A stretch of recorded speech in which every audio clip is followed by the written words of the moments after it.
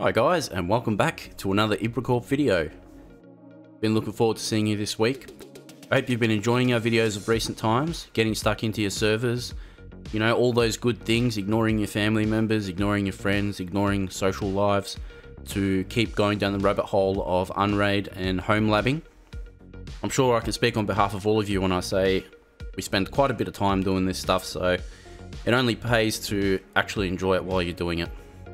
As you know guys, this will probably be my last video for a few weeks. Uh, as I said in a previous video, my sons will be born in about two days, so I'll be off YouTube for just a couple of weeks to obviously pay attention to things that matter most. Um, I'm not going to go into it too much deeper. I answered all those questions in the Q&A video if you're interested. But this is just a reminder, just so you know what's going on. I like to communicate with you, so if you don't see me up on there, that's all that's happening. But you can keep chatting with me and the rest of our community in Discord. We won't be going anywhere. I'll pop in there all the time. I'm sure I'm going to have a lot of late nights without any sleep. So that's where I'll probably be found. If you still want to come in and have a chat, you're more than welcome. Also want to take this opportunity just to thank everybody for all your support. I really appreciate it. I've noticed a fair few donations coming in and every cent has gone back into working on things at IbraCorp, getting a better website, our hosting. We've got, you know, videos planned and gives me more time to develop those ideas with our team. And those guys have been amazing in there. So a big thank you to everyone there. Thank you for our team leaders, our moderators, our IbraCorp team members, everyone. Thank you very much. Really appreciate everything you do for us here. So with that all out the way, today we're going to be looking at Wekan. Now Wekan is a Kanban board. Okay, it's open source and it allows a card-based task and to-do management. What does that mean? All right, let's say you've watched 15, 20 of my videos and you, you don't even know where to start on what, you, what you're going to do first for your server. I've given you so many great ideas that you just want to do a million things. Well, it probably is hard to organize that with your time. Maybe you want a way to just lay it out so you can mentally see what you need to do. So this was introduced to me by Disc Duck, one of our community leaders, a, a, little while back, and we've been using it to help with our video requests. So when stuff, so when people are requesting videos in our Discord, we are putting it in Wekan, and then I can move stuff around and, and manage the requests so that we can get to every request possible that we can as you can see here, we'll have a read. Wekan allows you to create boards on which cards can be moved around between a number of columns. Boards can have many members allowing for easy collaboration and just add everyone that should be able to work with you on the board and you're good to go. So you basically create these cards guys and you fill it out with information. You can have team members come in there and everyone sort of works on it and they can all update stuff at the same time and keep it all up to date. So we're on their GitHub here. It's just wekan forward slash wekan. Wekan is distributed under the MIT license, so it allows anyone to work easily with it and modify it. It's perfect for anyone that needs a slick Kanban board but doesn't want to use third-party services which are out of the user control. I've said it a million times here at IbraCorp, we are massive supporters of open source software, so I always like to get behind developers who do this either as a passion project or just want to make it open source so that everyone's transparent on what's going on. It's all just a bunch of text at the moment, but I personally think you're going to get what I'm talking about if I show you what it looks like. So if it sounds interesting, if you want a way to manage your ideas, tasks, projects, whatever it might be, I reckon this is a great tool and I'm going to show you how to use it. So stick around and let's get stuck into it.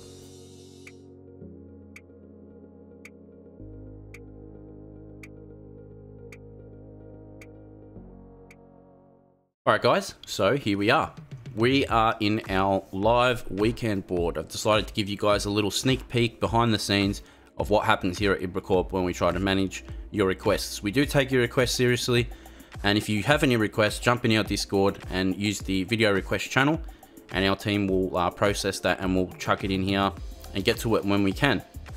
So obviously when we come up with ideas for videos, I don't like to personally, I, don't like to just jump into it without any sort of knowledge. I take my time, I usually try to read up and, and research as much as I can if it's something that I've never done before. Um, and if it is something I've done before, then obviously I just start filling in the information. So what we're looking at here is my board. So this is the main page, I've just logged in. This is showing every board that we have. So you create a board and then in those boards, if I just go into one here, so let's say new video requests. Here's a perfect example, all right? So we've got new ideas. So this is basically being used as like a header, so to speak, right? We've got new ideas. So this is one section, then you've got a section underneath that, and they match the same column. So we've got new ideas here. We've got things of interest to us. Then we've got choices for the next production, pre-production, in production, and then stuff that's been finished and put on YouTube. So let's say for today's video, for example, if I was to click that and we have a look, you can see how it's just shifted the screen around for me. And we've got a couple of details that we've pre-filled out here that we like to go in with. There's a few things that you can modify. Now, if I just go ahead and create one, so let's say someone's given us a good idea, we like it, we'll just click the plus here under new ideas. And in the name, this also supports Markdown, which is pretty cool. So if I just go asterisk, asterisk, and we say test video, and click add, so you can see it's given us a title there and it's in bold. If we need to change it for, for whatever reason, we just click it and you can just change it there. Then you've got labels. So we can label it, we'll go plus, and you can see a whole bunch of labels that we've already made. You might need to create a new one, so just click create label. Create it, pick a color, and you'll have something like this. So then you can just basically pick, all right, this matches this, this, maybe a bit of that, you know, maybe even a bit of this, and it's in our video request list, okay? Then we put the date. We've received this request on this date. Click save. When we expect it to end, if that's the case, or when we finished it. We've got these custom fields here as well. So we've said, oh, what difficulty is it? You know, is it going to be for a beginner user? Is it going to be for an intermediate user? The expected length, who requested it, and a description of what it is. But you can change all this. It's all customizable. So if we go into the top menu here, you've got all these different options here. So if we go edit custom fields, here's those fields there. So you can go settings and basically create a new one, you know, if you need to create a different one. And that just allows you to customize what it is you're looking for. So then in here, oh, sorry, we'll go back here. So then back in the menu, we've got some other options. You can go maximize card. At the moment, I personally don't feel like that that's working that well at the moment, but that's another option you have to make it easier to read. You've got an option there to actually copy the link to the card as well. So you can hyperlink that and go straight to the card if you wanted to and send that to someone so they can just jump straight into it. So then if we were to say, you know, we've got this new idea, we think it's interesting, this is how easy it is, we would just move it. Okay? Then we would move it again when we're ready to the next swim lane, so to speak, and then over to pre-production, and then into pre into production. So these are the type of things that make it really easy to work with. And I think it's it's a really cool tool in that sense. And you can ha basically have as many boards and as many columns in these boards as you want. So you can have a whole different structure, you know. Um, let's say you had a board called IbraCorp videos. And in that board you had ideas that I liked. And then you might have one, ones I'm working on or what I'm going to do next, reverse proxy stuff, blah, blah, blah, Unraid, Cloudflare, anything we've done, for example, right? Now, I'm not just promoting myself here. Obviously, whatever task you want to do, I'm just trying to give you an example because a lot of people tell me, oh, I'm so behind, I don't know where to keep up on all your videos. This is the tool for you. So back up here, we've got swim lanes. As you can see, we've got swim lanes selected, and you've got lists, swim lanes, and that adds that swim lane there in the top for the info. You've got search functions. You can filter stuff down, you know, by label or by person or by date, whatever. Advanced filters, you can also customize that too. If we were to go to the settings, we head to the admin panel, this is what that looks like here. So what I'm going to do at this point, guys, I've given you a quick snapshot to see what it looks like because I know that if we were to just start installing it, you may not even know what it is, so you might not be interested. So now that you kind of see what it looks like, we'll actually show you how to install it and set it up on Unraid and that way you can have a play with it too. So if you want to follow along with us, that's cool. Um, we're basically going to jump into that now. Okay, here we are on Unraid in our Pumba server. God, I love Pumba. He's been there for us all the time, hasn't he, guys? He's pretty much taken a beating this server, let me tell you. But um, we're going to go with Pumba because it's pretty much, you know, empty and we can start fresh. So at the moment, we've got MongoDB there, and the reason we have MongoDB was because we were using Petio in our last video. So I don't think it's necessary for us to blow it away. I think that's just going to repeat something we've already done, but I'll show you what we did in the template at least. So what you do, just head to the App Store and then search for MongoDB. So we'll type in Mongo, And there's a couple of different things that come up. What we want is this one here by Tadius repository. You'll get to the template, which looks like this. So unless you need to change anything here, you can pretty much just leave that as default. Click apply, start MongoDB up. All right, with MongoDB up, we've got our database. That's nice and ready to go. As I've said before, just remember that Unraid starts the containers from top to bottom, or Docker I should say, from top to bottom of your screen when you restart your server or restart the Docker service. So that means things that usually depend on other things um, would be lower on the list and those dependencies would be up higher. So a database is typically a most common dependency because everything reads from a database.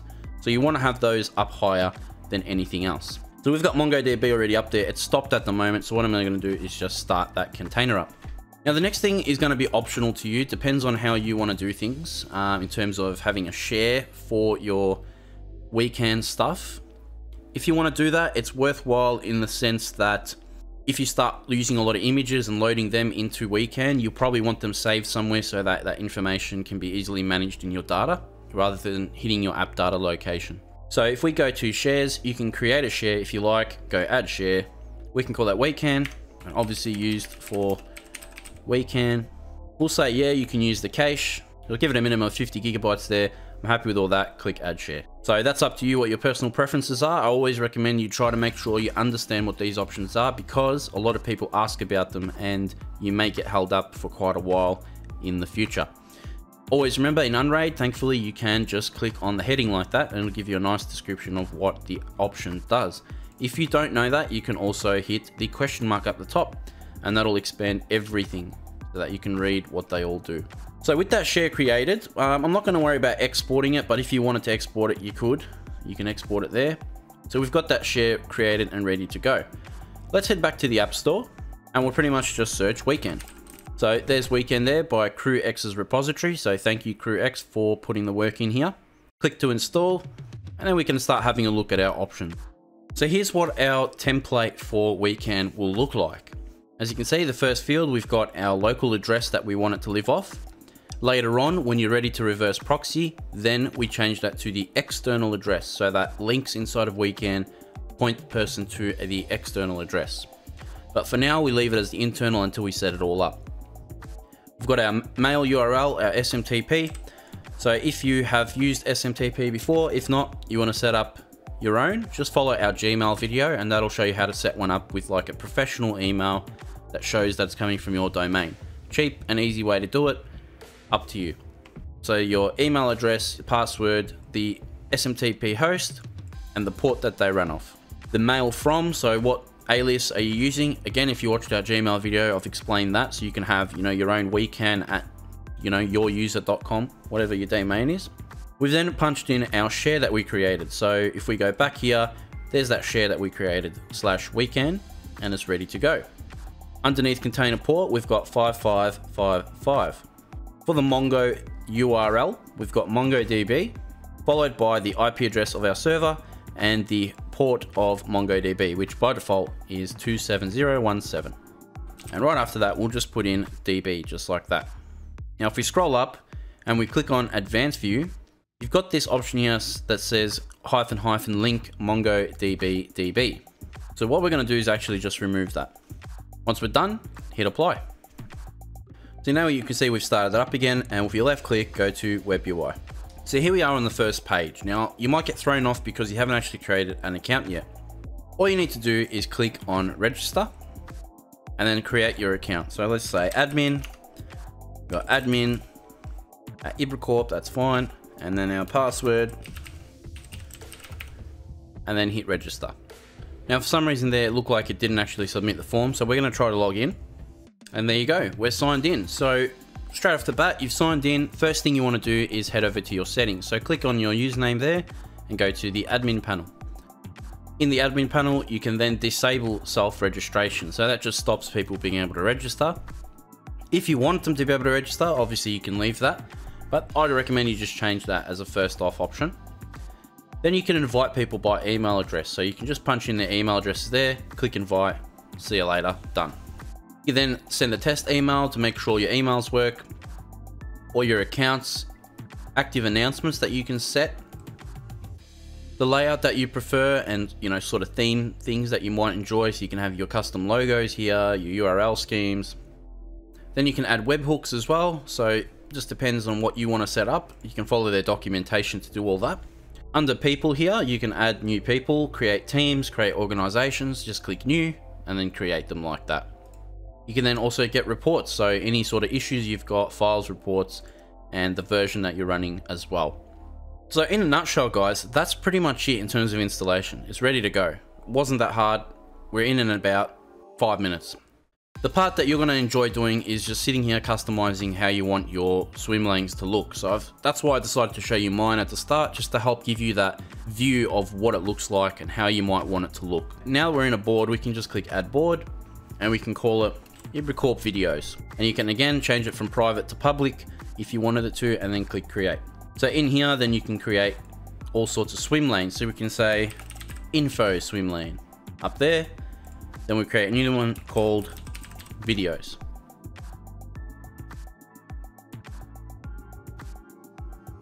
Move info to the top. In info, we can then add a list and we can say ones I like. Click save. This is where I put ones I, I like. Click add. Then under the swim lanes for videos, then we can actually put the link to the video, for example. So you can actually just put HTML links if you wanted to, or whatever the case might be. And then customize it. You can add colors, you know, set your limits. Do you want to have a link? So you can just put in a link, for example, search it somewhere else. Then we've created the entry. So under the entry, you can add your labels. You can add who received it, how you want it to look, you know, all those sort of things that I showed you at the start. So guys, that's pretty much it. I hope you enjoyed Wekan. It's a pretty cool tool. It's really helpful if you're someone like me who's got a million things going on and you want a nice, easy way to manage it. Um, again, big thanks to Disduck for helping us reach this, uh, for helping us find this product. He's uh, basically walked us through it and set it all up with us, and it's been immensely helpful. So I hope you enjoyed it. I really look forward to seeing you guys again in a couple more weeks. Hang in there. Thank you for being a supporter of IbraCorp. I personally just appreciate every single one of you. So thank you very much for this awesome ride. I hope to see you again soon. In the meantime, come find us on Discord. We'd love to have you there, and we'll see you in the next IbraCorp video.